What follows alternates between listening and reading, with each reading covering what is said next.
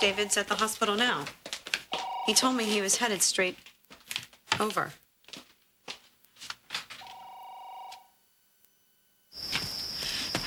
You must recognize me. You must have seen me on TV or on a book cover. Don't have TV. Well, I can tell already you don't read books. Excuse me. All right. So you live on a mountain in the middle of nowhere. And so real people in the real world, they have no effect on you. But I am telling you, down at the bottom of your hill, I am very, very well known. And I have important things to do, and I must get down there. Do you understand me? It is a priority for me to get down back to reality. So can you help me get there? Do you have a phone I can use? Nope. Don't you think you are carrying this hermit thing just a little too far? I can't have a phone. I have a medical condition.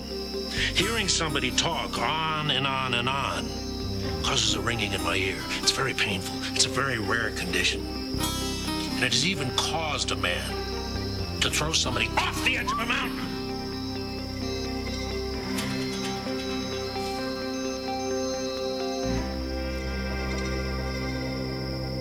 We're different, you and I.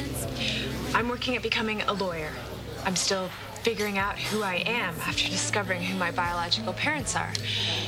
I'm in an intense marriage that's in trouble. I guess what I'm saying is I'm a serious person. And I'm not? You use different tools to get what you want sex, manipulation. You're impulsive and you don't always think about the ramifications of your actions. You don't plan ahead the way I do. I'm just wondering where this insulting conversation is going. It's simple, really. A favor. You owe me that much. Next time you want something, I want you to ask yourself if you're really in it for the long haul. How dare you? No, seriously, just ask yourself is it worth ruining everyone else's lives if you're just gonna get the itch all over again? Start looking for the next new toy in the window to play with. I'm going to be bringing the CFO over here to hear your plans for the future. Make sure you don't bring us to the brink of ruin. Hmm. Yeah, okay, let's do it. I think you need to see who's meant to be in charge. Any news at all on the flight? Well, how about with ground control? When was the last time Radar had sights on it? Jeez. Well, hold on for one minute. I've got a call coming in. Hello? Hey, I'm just checking in. Did you take care of that problem at the hospital? Yeah, I'm, I'm working on it right now. It's a lot more serious than I thought. It looks like I'm going to be here for a while. I'll let you go then. Keep me posted. Absolutely. All right. Can you at least tell me if the plane is in the air or not? How the hell could you not know that?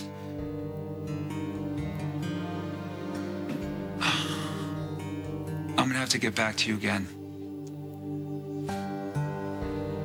Funny. This place doesn't look like the hospital. I can explain. I knew something was up. Are you gonna talk?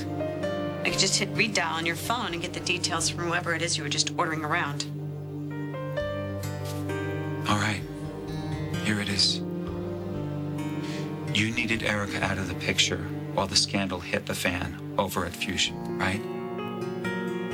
So I had a mechanic disable her plane in West Virginia. The plane wasn't supposed to take off.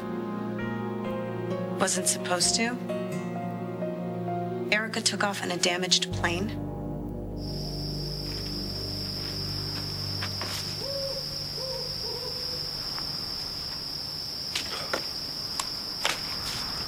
You think I talk too much? Well, I'm only trying to fill the void here because getting a syllable out of you is like pulling teeth. Well, then you can imagine what the sound of your voice does to me. What, what are you doing? What's going on? What, are, are we going somewhere? We? We're going down the mountain, aren't we? If you want to go down the mountain, you go that way. I'm going that way. I, I don't understand. Got another cabin. I'm going to bunk there. It's not as cozy as this place used to be, but it does have an inside and an outside.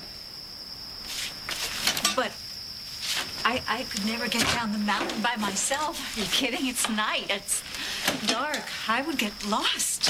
You know, that's the least of your problems. You gotta watch out for mudslides. Hope you got a good tread on those things. Well, you give me no choice. Okay? I'm gonna have to go to the cabin with you. We're gonna have to spend the night. But there's only one problem with that. What? You ain't invited.